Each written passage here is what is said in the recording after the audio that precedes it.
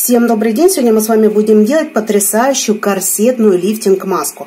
Эта же маска великолепно будет не только подтягивать овал лица, но и разглаживать мелкие морщинки, а также очень хорошо питать дряблую возрастную кожу. С ингредиентами этой маски, а их всего три, это льняное масло, это куриное яйцо и это картофельный крахмал, мы с вами уже знакомы. Мы неоднократно делали разные вариации масок из этих компонентов. Но сегодняшнее важное такое существенное отличие – это то, как мы будем наносить. Мы вот действительно на лице будем создавать эффект корсета, то есть э, таким образом подтягивать. Поэтому маска у нас будет делиться на две составляющие. А, главное, главное отличие – это белковая часть и желточная, желтковая, что ли, часть, если так можно сказать. И эта маска будет наноситься слоями. Сначала белок – белок прихватывается на нашем лице, потом желток, желтковая составляющая прихватывается и снова белковая составляющая. И вот таким вот образом, наслаивая эти компоненты, мы создаем эффект корсета на нашем лице. То есть фактически вот этой самой э, суперлифтинговой составляющей. Итак, мы с вами предварительно делим наше куриное яйцо на две составляющие. Еще раз, белок и желток. Очень аккуратненько делим. Я надеюсь, вы в курсе, да, как проверить яйцо на свежесть, потому что для этой маски, поскольку мы никакой термической обработки не а, совершаем, очень важно яйцо не только чистое внешне, но и свежее. Поэтому предварительно вот в стаканчике с водой я проверила яйцо на нашу свежесть. Ну и давайте займемся, в принципе, белковой составляющей. Теперь мы потихонечку к нашему белку будем добавлять картофельный крахмал. Сразу скажу, здесь эм, вот таких вот четких показателей, да, вот сколько ингредиентов быть не может. Я все делаю на глазок. Объясню почему. А, потому что все зависит от размера куриного яичка. На самом деле, ну, конечно, хочется на лицо шею декольте, но не обязательно брать большое куриное яйцо. Дело в том, что э, на самом деле вот даже в масках э, лучше применять куриные яички небольшого размера. Считается, что их несут молодые курочки несушки. И такие яйца, они более богаты всевозможными витаминами, микроэлементами и так далее и тому подобное. То есть все, что нужно для нашей кожи. Поэтому еще раз, смотрите, на глазок я сейчас добавила всего лишь навсего 2 э, чайные ложки крахмала. Все, вот это наша белковая составляющая, она готова. Чистый белок и крахмал. Все, мы взбили до однородной массы. И теперь мы займемся нашей, что называется, желточной, желтковой составляющей. К желтку мы тоже добавляем небольшое количество крахмала. Тоже порядка где-то двух чайных ложечек. Взбиваем.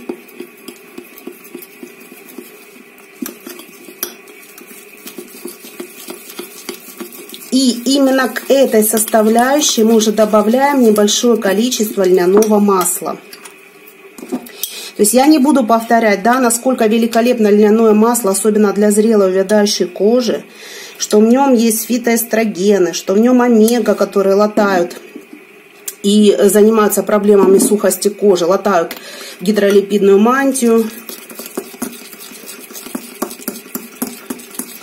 Витамин Е, мощный антиоксидант. Лигнаны присутствуют, которые работают как фитоэстрогены. То есть добавляем еще, смотрите, нам нужна консистенция густой сметаны для того, чтобы маска хорошо распределялась на нашем лице. Поэтому а, видите, все эмпирическим путем.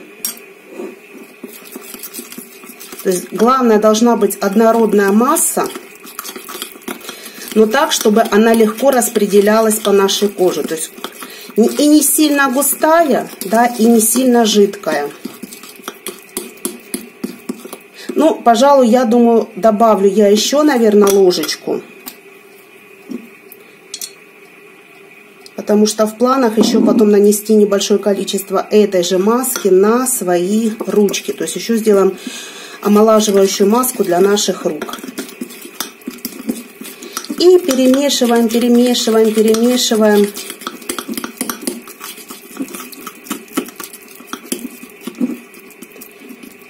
То есть вот, в принципе, делайте консистенцию, которая вам удобна, которая вам комфортна, которая будет хорошо распределяться, наноситься. Добавлю, наверное, еще. То есть, видите, порядка уже, ну, почти 4 чайных ложки льняного масла у меня ушло.